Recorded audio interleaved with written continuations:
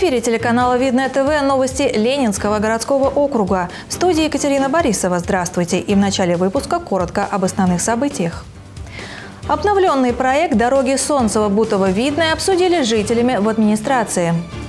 Рассматриваются варианты какие-то э, полностью, что называется, проехаться катком, ну я по-другому слову сказать не могу, катком по домам наших жителей.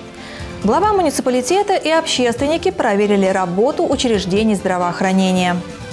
Когда это только начиналось, 56 тысяч жителей было в городе. Сейчас мы можем говорить там о порядка 150-200, которые сюда ходят. Видновская школа номер 7 отметила 30-й день рождения. Здесь учатся самые лучшие ученики и руководят нами самые добрые и э, любящие учителя. Обновленный проект региональной платной трассы Солнцево-Бутово-Видное, представленный подмосковными властями, не нашел позитивного отклика среди жителей Ленинского городского округа. Основное недовольство вызвало расположение будущей дороги. К вопросу подключились муниципальные власти и депутаты. Подробнее о заседании рабочей группы расскажет Дмитрий Книга. В администрации округа состоялось заседание рабочей группы с участием руководства муниципалитета, депутатов и инициативных жителей по вопросу строительства дороги Солнцево-Бутово-Видное. Региональную платную трассу планируется проложить по территории Ленинского округа с выходом на Лыткарина и окончанием в железнодорожном.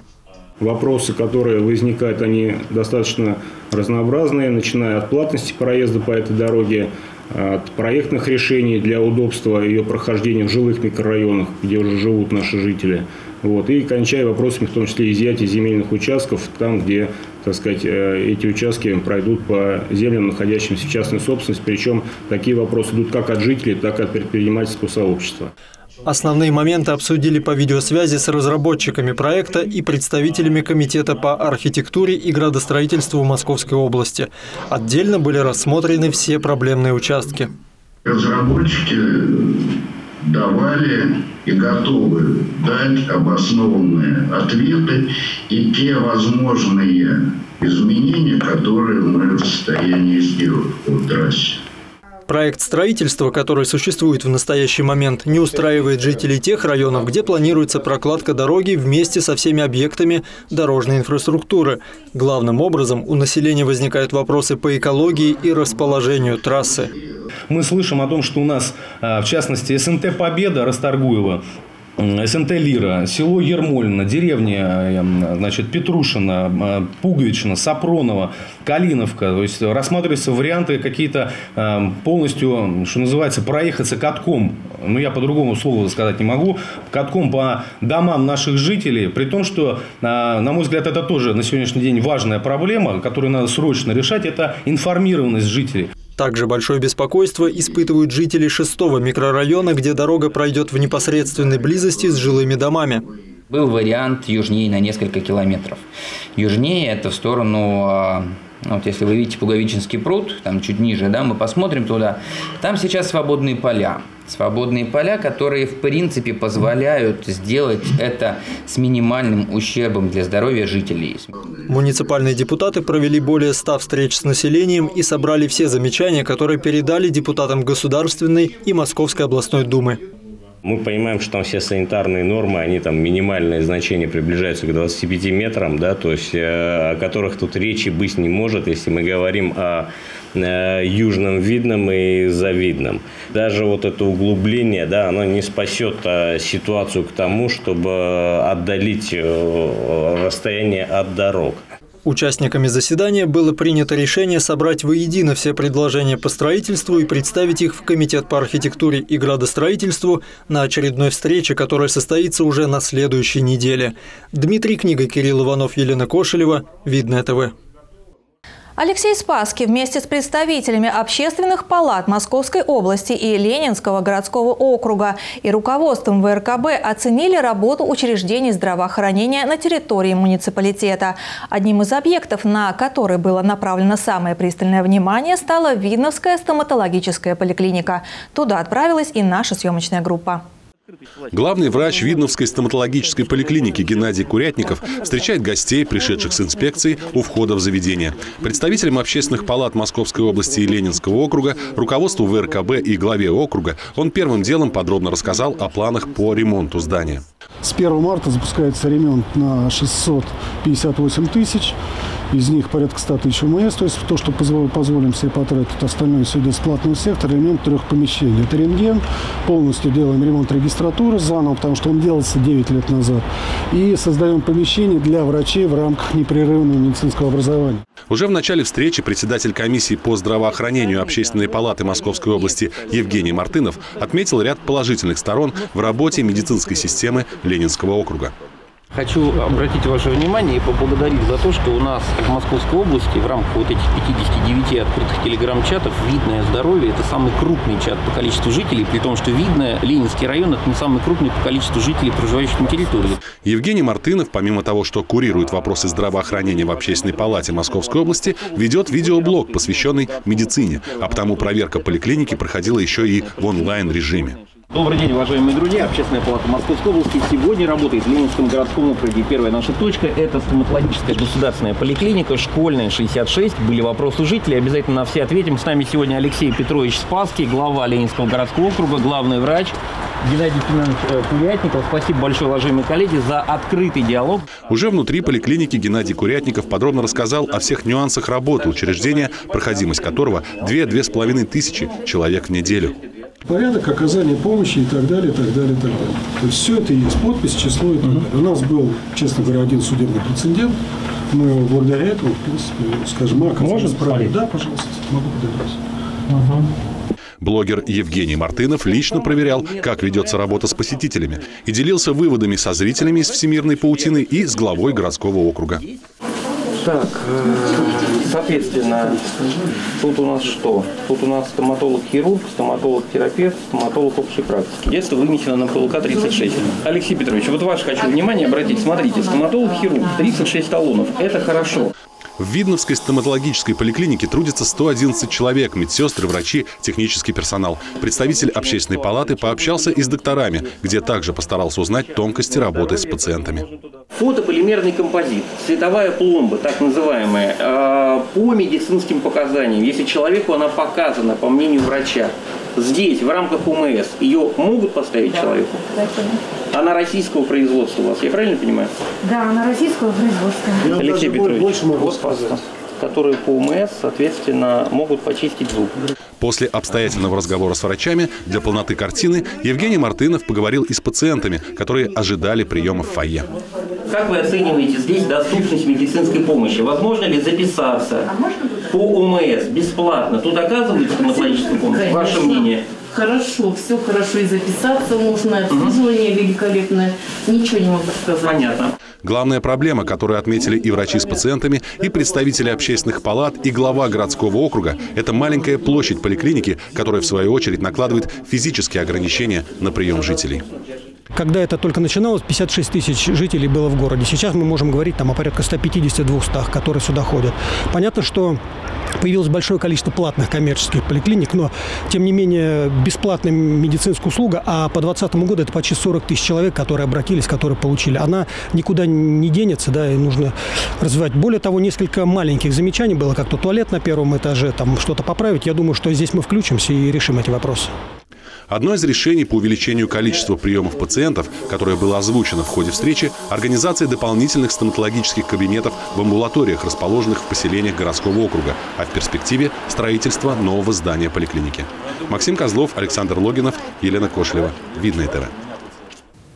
Продолжении темы здравоохранения в историко-культурном центре прошла встреча с жителями по вопросам медицины в Ленинском городском округе. О том, какие темы были затронуты, расскажет Екатерина Коваленко. Максимально откровенно и продуктивно о медицине. В историко-культурном центре прошла встреча с жителями по вопросам здравоохранения. Модераторами собрания стали заместитель главы администрации Ленинского городского округа Татьяна Квасникова и председатель общественного совета при Общественной палате Московской области Евгений Мартынов, который накануне побывал в медицинских учреждениях муниципалитета. А мы заранее собирали в соцсетях и э, те медучреждения, куда надо приехать, и на этом основании строили свой маршрут, это ПЛК-36, это детская поликлиника, куда интегрирован детский КДЦ, и где сейчас временно находится взрослая поликлиника. Нахождение взрослой поликлиники в стенах детской вызывает много вопросов у жителей. Несмотря на то, что у здания несколько отдельных входов и врачи уделяют большое внимание правильной маршрутизации пациентов, но смешение потоков все равно происходит. Продлится такое неудобство, по словам главного врача ВРКБ Бутая Бутаева, недолго. У нас идет достаточно такой э, масштабный капитальный ремонт здания взрослой поликлиники, где э, значит, мы э,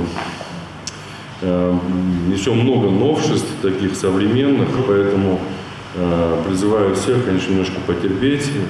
Э, Все скоро будет. Это где-то будет апрель, как нам говорят строители. Работа амбулаторий и травмпунктов, состояние медицинских учреждений Ленинского округа, спектр тем для обсуждения очень широк.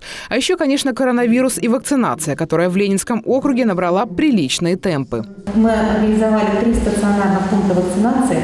Один из пунктов вакцинации – это взрослая поликлиника, которая расположена на базе детской поликлиники, Молоковская амбулатория и Южная поликлиника. Кроме этого, у нас еще четвертый пункт вакцинации – это торговый комплекс «Вегас». По субботам, воскресенье еще один пункт вакцинации, также для удобства наших жителей, организован в кинотеатре «Искра». Острых тем было немало, ведь медицина – традиционно чувствительная зона. Вопросы поступали как онлайн, через открытый телеграм-чат «Видное здоровье», так и вживую. У ребенка шатаются сильно зубы. Э, записываться к зубному врачу составляет ровно 14 дней. Когда говоришь, что ну, возможности нет, у ребенка уже совсем шатаются зубы, нет, все равно 14 дней. Или приходите, сидите в живой очереди. Вот такой вот получали ответ. Ситуацию прокомментировал главный врач Видновской стоматологической поликлиники Геннадий Курятников. Отказов вот явных таких, что пришли, там, живая очередь на 3 часа, ну даже если 10-15 минут, не больше. Работают два хирурга в две смены проблем там нет, тем более молочный зуб. Медицинскую проблематику держат на контроле и в депутатском корпусе муниципалитета. Потоки тяжело разделять, и загруженность высокая на врачей ложится. Поэтому, конечно, очень много обращений. Собрание продолжалось более двух часов. Посетил его и заместитель министра здравоохранения Московской области Руслан Кошелев, который отметил высокий уровень работы Виновской районной клинической больницы как одного из лучших медучреждений на юге Подмосковья. Последние несколько лет правительство Московской области были вложены большие деньги как в медоборудование, так и в капитальный ремонт. И это не предел, то есть мы будем дальше продолжать, скажем так, улучшать материально-техническую базу. Но, как говорят у нас в министерстве, да, важно еще и кто будет с этим работать. Поэтому с приходом вот нового руководства в больницу у нас большой приток кадров высокопрофессиональных, э, подготовленных. Поэтому я считаю, что вот этот вот, э, скажем так, симбиоз э, усиления материально-технической базы и человеческого фактора позволит нам выйти на новый уровень здравоохранения в Ленинском округе. В завершении встречи всех желающих пригласили в открытый телеграм-чат «Видное здоровье», где медицина нашего округа обсуждается открытым и честным языком. Екатерина Коваленко, Кирилл Иванов, Екатерина Давлятова. Видное ТВ. Борьба с припаркованными авто возле контейнерных площадок перешла на новый уровень. Теперь сообщить о нарушениях может каждый житель Ленинского городского округа, воспользовавшись разделом «Народный инспектор» на портале «Добродел». Как он работает, нашему корреспонденту рассказали члены Общественной палаты муниципалитета. Подробности в репортаже Юлии Погосян. Региональный оператор не вывозит мусор. Начальникам территориальных отделов Ленинского городского округа постоянно приходится встречаться с подобными жалобами от населения. Но причина чаще всего кроется не в плохой работе коммунальных служб, а в элементарном нарушении правил парковки самими жителями. Недобросовестные владельцы авто просто перегораживают подъезд мусоровывозящим машинам контейнерным площадкам. Водители все меры, которые они могут принять, они предпринимают. Если есть минимальная возможность подъехать к контейнерной площадке, они это делают. Другой вопрос, что как в данном случае у нас э, выкатить контейнеры очень проблематично, то да, э, скорее всего, э, на данную контейнерную площадку придется заезжать в следующий раз, чтобы вывести все отходы, которые здесь накопились. Борьба с такими автомобилями ведется постоянно, а теперь вышла на новый уровень. Около трех месяцев назад на портале «Добродел» дел появился раздел «Народный инспектор». Можно сфотографировать номер машины и отправить его в службу контроля. И тогда придет штраф водителю, и в дальнейшем он не будет этого делать. Потому что на сегодняшний момент, если машина эта так и останется, мусоровоз действительно не сможет вывести. И мы потом будем возмущаться, почему рекоператор не вывозит у нас мусор. Помочь округу избавиться от несанкционированной парковки возле контейнерных площадок может каждый житель. Достаточно скачать приложение «Добродел», зарегистрироваться, зайти в раздел «Народный инспектор», выбрать соответствующую геолокацию, сделать четкое фото, чтобы был виден регистрационный номер авто, и с комментарием отправить в центр обработки. Все заявки стекаются в территориальный отдел Госадомтехнадзора. Получается информация о собственнике, направляется уже штраф а, по почте. Для физических лиц данный штраф составляет от, от 1 тысячи до 5 тысяч рублей.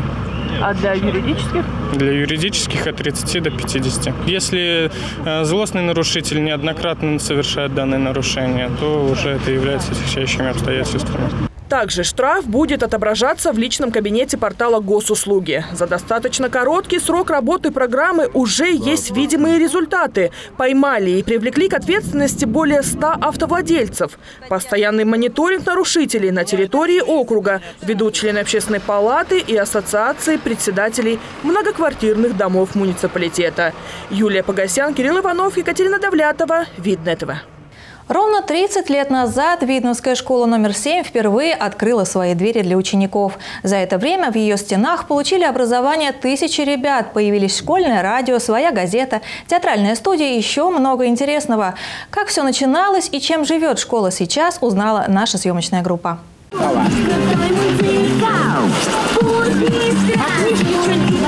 Вот так весело под музыку начался 5 февраля учебный день в школе номер 7. Нарядные ученики спешат поздравить не менее нарядных учителей и директора с их общим праздником – днем рождения школы. У нас самая замечательная школа с нашими самыми замечательными учителями. Это все благодаря вам. Оставайтесь всегда такой же замечательный, такой же красивый, такой же молодой такой же для всех для нас любимый. Вы самый лучший директор нашей школы. В этом году Видновская школа номер 7 отмечает круглую дату. Ей 30 лет. Я хочу поблагодарить весь педагогический коллектив, который старается, работает, любит наших детей. Я хочу поздравить всех детей наших с этим праздником, которые э, делают успешной эту школу, только наши дети. Конечно, огромное спасибо родителям за их поддержку. К сожалению, из-за пандемии праздничный концерт устроить не удалось, но ребята вместе с учителями все равно постарались создать атмосферу праздника. В холле первого этажа оборудовали яркую фотозону, подготовили выставку стен газет и плакатов, сняли видео поздравления и фильм о любимой школе. А нам рассказали, почему считают ее самой лучшей. Здесь учатся самые лучшие ученики и руководят нами самые добрые и э, любящие учителя. Здесь мы чувствуем себя как дома. Всегда э, приятно прийти, приятно получать новые знания, приятно общаться с одноклассниками, с учителями в том числе. Учителя хорошие, да. Э, и еще, ну, готовят вкусно. Очень любим нашу школу, с удовольствием каждый день сюда приходим для того, чтобы получать э, знания. И также хочется пожелать ей э, процветания и хороших и умных учеников. За 30 лет здесь сформировался крепкий и дружный коллектив педагогов с большой буквы. Сейчас в школе трудятся 77 учителей, из которых 6 человек работают здесь с самого открытия. Как, например, учитель начальных классов Наталья Дмитриевна Климова. Она прекрасно помнит, как впервые переступила порог школы.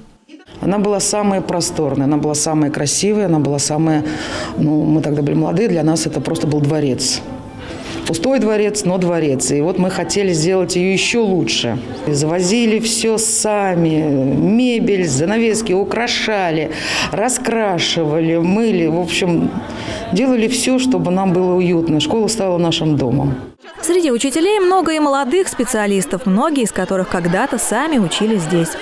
Я закончила данную школу в 2007 году, и э, в 2020 году я пришла сюда работать. Я хотела сюда вернуться, потому что это мой второй дом. Я э, знаю этот коллектив давно, я его люблю.